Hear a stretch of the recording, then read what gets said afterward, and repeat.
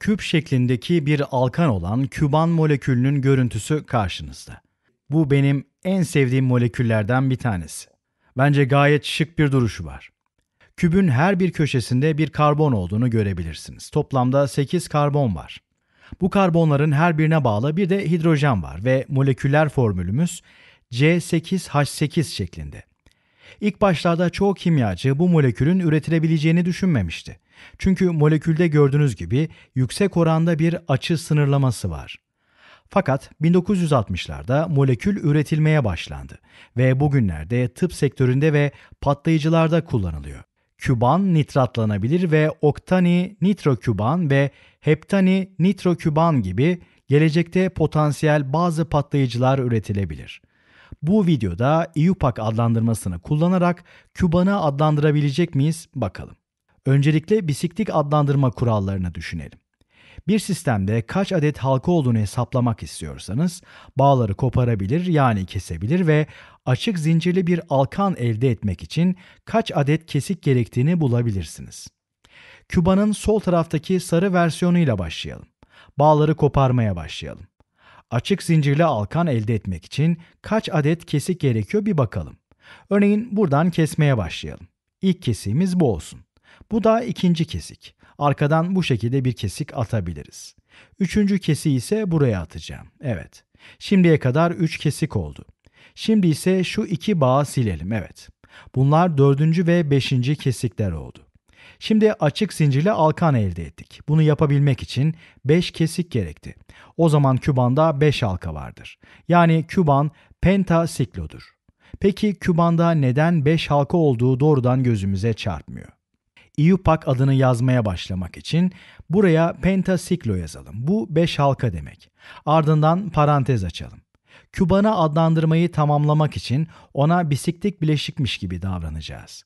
Yapacağımız ilk şey köşelerdeki karbonlarımızı tanımlamak olacak. Bunlar her iki halkada da ortak olan karbonlar ve köprü başı karbonlar olarak adlandırılıyor. Umarım bu iki halkayı görebiliyorsunuzdur. Bunlar iki halkayı bağlayan ve bir nevi köprü görevi gören karbonlar. Bisiklik bileşini numaralandırdığınızda köprü başı karbonların birinden başlarsınız ve öncelikle en uzun yoldan gidersiniz. Ben de bu karbondan başlayacağım ve buradaki en uzun yoldan gideceğim. Bu 2 numara, bu 3 numara, bu 4 numara, bu 5 numara ve bu da 6 numaralı karbon. Buradan da diğer köprübaşı karbona geldik. Ardından bir sonraki en uzun yolu adlandırırız. Bu 7, bu da 8 numaralı karbon olsun. Evet, Küba'nın 8 karbonu bu şekilde. Yine bu bisiklik molekülmüş gibi davranmaya devam edebiliriz. Şimdi ise en uzun yol üzerindeki karbonların numaralarını bulalım. En uzun yol üzerindeki karbonlar şu şekilde. 1, 2, 3, 4 karbon. Unutmayın, bunu yaparken köprü başı karbonlarını hariç tutuyoruz. Burada 4 ile başlayacağız. Bu şekilde. Şimdi ise ikinci en uzun yol üzerindeki karbonları numaralandıracağız. İkinci en uzun yol buradaki. İkinci en uzun yol üzerinde 2 karbon var. Buraya 2'yi koyalım. Bu şekilde. Son olarak köprübaşı karbonlar arasındaki karbonların sayısına bakalım. Bu örnekte iki köprübaşı karbon arasında karbon yok. O zaman buraya 0 koyalım. Fakat tabii ki küban bisiklik bir bileşen değildir. O halde devam etmeliyiz. Ve bu molekülü adlandırmaya nasıl devam edebileceğimizi bulmak durumundayız. Bunu şu şekilde yapabiliriz. İkinci ve beşinci karbonlar arasında kaç adet karbon olduğunu düşünelim. Buraya kesikli bir çizgi çizelim. Bu ikisini bağlıyormuş gibi düşünebiliriz. Tabii ki bunların arasında herhangi bir karbon yok ama öyle varsayalım. Bunu sıfır yapabiliriz. Üstüne de 2,5 yazabiliriz. Yani ikinci ile beşinci karbon arasında karbon yok anlamına geliyor. Devam edelim. Bunu 3 ile 8 arasında da yapabiliriz. 3 ile 8'i arkadan bu şekilde bağlayalım. Aralarında herhangi bir karbon yok. O halde yine 0 yazalım. Ardından 3,8. Tabii ki aynı şeyi bir de sağ tarafta yapabiliriz. 4 ile 7 arasında karbon yok yani 0. Üstüne de 4,7 yazabiliriz.